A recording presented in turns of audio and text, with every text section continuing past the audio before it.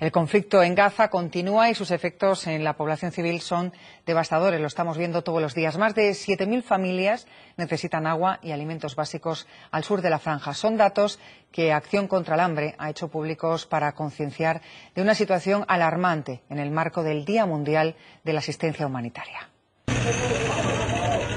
Los bombardeos y el bloqueo que viven en Gaza, además de la destrucción, dejan otra cara, la del hambre.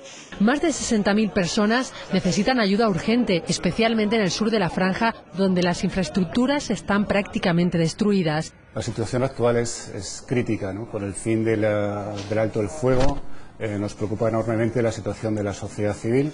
Cerca de 1.200.000 personas en la, en la franja de Gaza no tienen acceso a la electricidad, no tienen acceso al agua potable el número de, personas en situación de inseguridad alimentaria está, está, creciendo. A la falta de alimentos que ONGs como Acción contra el Hambre intentan paliar, se añade la contaminación del agua. Hemos eh, distribuido eh, cerca de 1.600 metros cúbicos en los últimos, en los últimos días de, de, agua, tanto agua para uso doméstico como agua para la, para la bebida. Y lo que estamos haciendo es equipando, equipando con generadores. En estos cuatro generadores lo que hacemos es que podemos eh, bombear el agua de los, el agua de los pozos y, por lo tanto, asegurar un mínimo de calidad.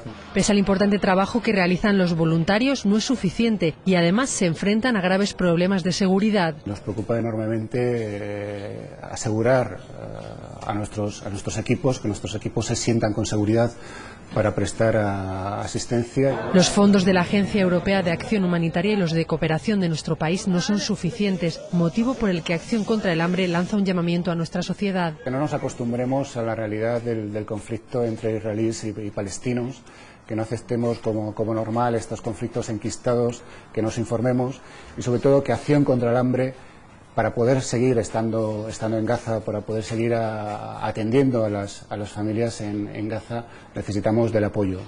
Mientras políticos y militares encuentran una solución a este conflicto, las ONGs advierten de que es imprescindible que la población civil esté protegida de las armas y pueda vivir con dignidad.